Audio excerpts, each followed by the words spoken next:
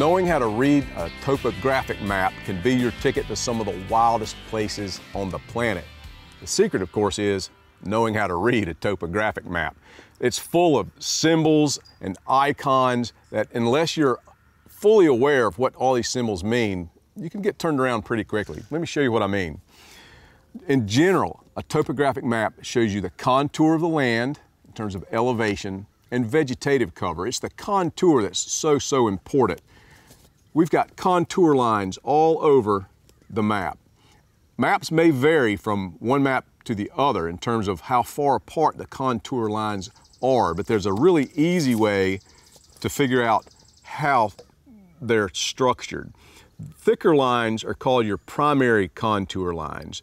Between thicker primary contour lines, there are thinner secondary contour lines. Now right here, we can follow one of these thick contour lines around and we see it's at 5,000 feet in elevation. You can follow that elevation line around and you can see that there are lighter contour lines moving up slope. We can count them to get to the next primary contour line. We have one, two, three, four, five.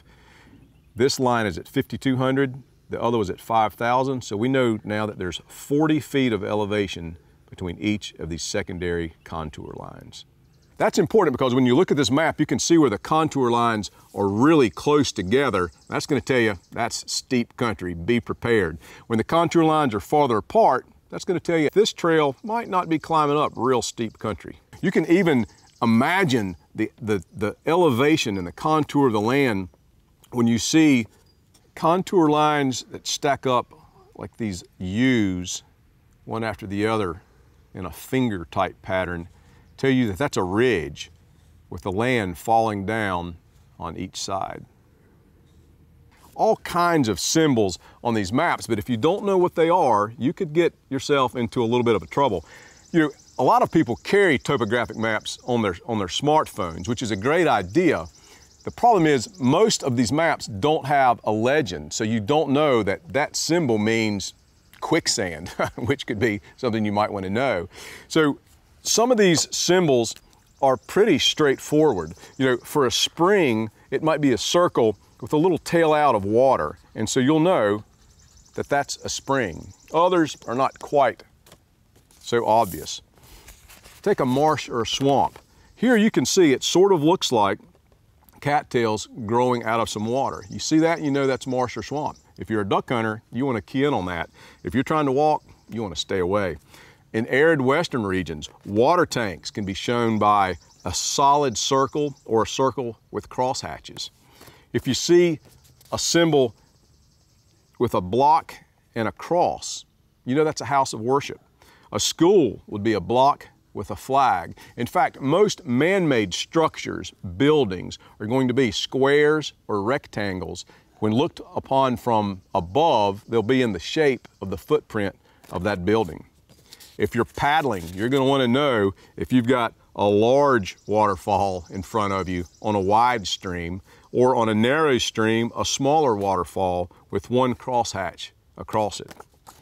If you're paddling again, Two crosshatches are going to denote small rapids.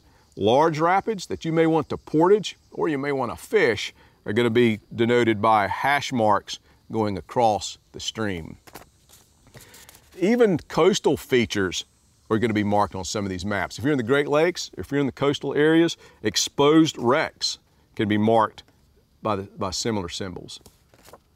And of course, you don't want to fall into an open pit or a mine, and you want to stay away from mine shafts, again, they'll be denoted on the map. Now here's one you're really going to want to know. A double set of hash marks denotes a four-wheel drive road or an unimproved road. Not going to be a, a, one you're going to want to take a sedan up. And here's one, a, a gate. Now get this one straight. Any gate is going to be denoted by a line drawn across the symbol for a trail or a road with two dots. Those two dots, think of those as the fence posts and the gate going across. You don't want to get halfway up a mountain and not be able to make it to the top. You don't want to get to the edge of a raging rapid and not be able to cross. Knowing your topographic map symbols helps open up a window to the wild. You're going to be able to get to places hunting, you're going to be able to get to places fishing, and more importantly, you're going to be able to get back safely. If you don't know these symbols, they're easy to find. Just go to pubs.usgs.com Learn these symbols and you never have to look back.